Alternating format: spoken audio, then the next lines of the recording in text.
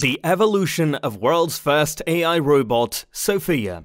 For almost a century, futurists have foreseen the emergence of a new species, namely the robot. These mechanical marvels would not only walk and talk, but they would also perform all of the chores. Humanoid robots are predicted to exist and interact with humans in the real world, as well as to satisfy the requirements of physically disabled people.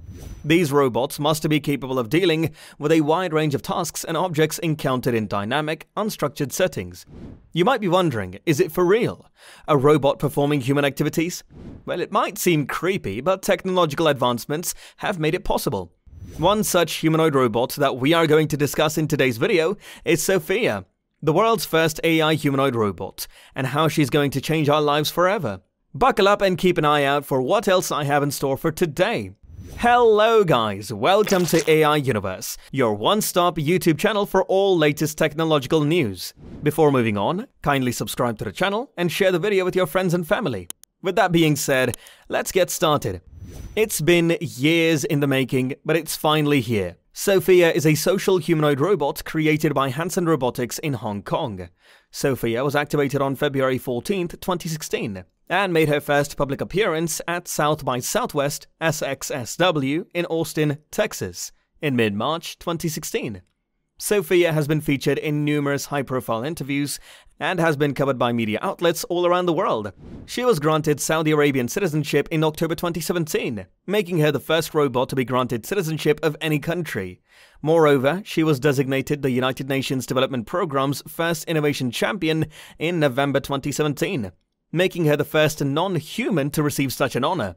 Before moving on, let's shed some light on Sophia's history.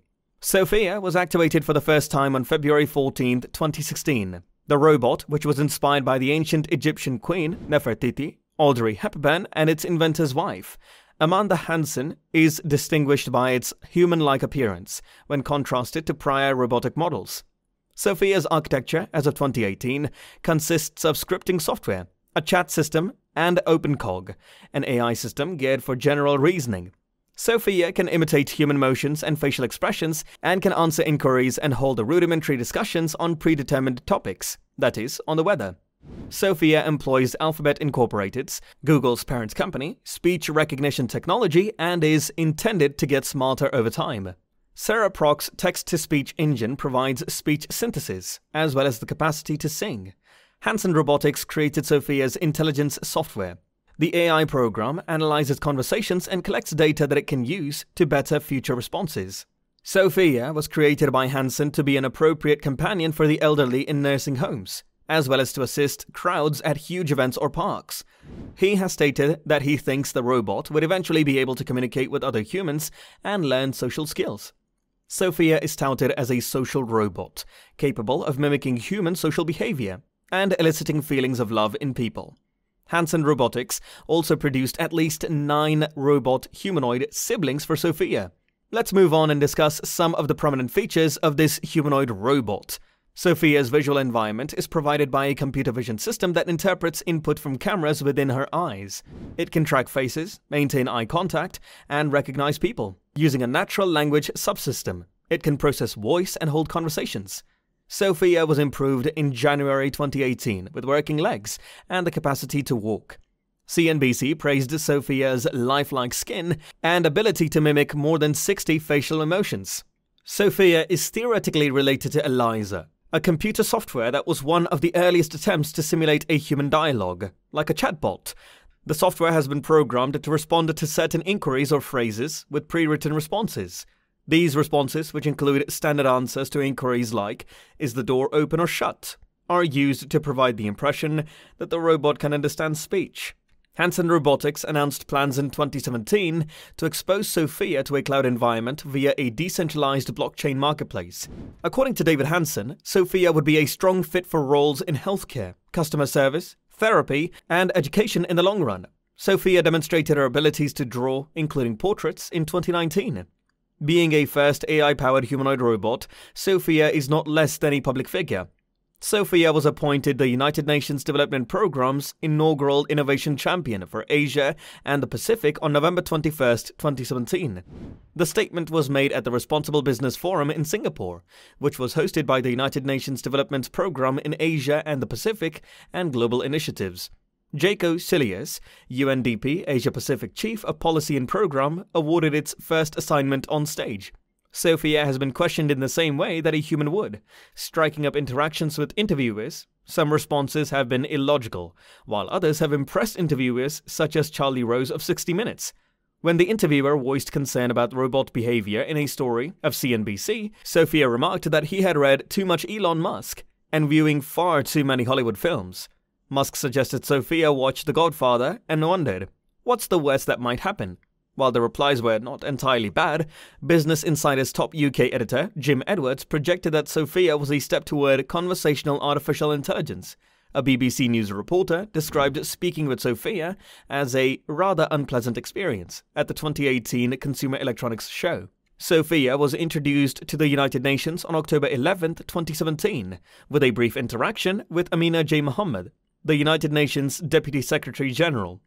A public figure is always exposed to criticism from all sides. Same is the case for Sophia, who has been criticized for her notable features. Experts who analyzed the robot's open source code told Quartz that Sophia is best classified as a chatbot with a face. Many AI scientists are critical of Sophia's overblown presentation. If I show them a beautiful smiling robot face, they get the feeling that AGI, Artificial General Intelligence, may indeed be nearby and viable, says Ben Goertzel, former chief scientist for the company that made Sophia. None of this is what I would call AGI, nor is it easy to implement.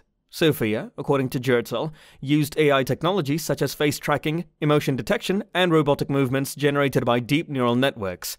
Sophia's discourse is generated by a decision tree, but it is uniquely connected with these outputs. The Verge claims Hanson frequently exaggerates and grossly misleads about Sophia's ability for consciousness, such as agreeing with Jimmy Fallon in 2017 that Sophia was essentially alive.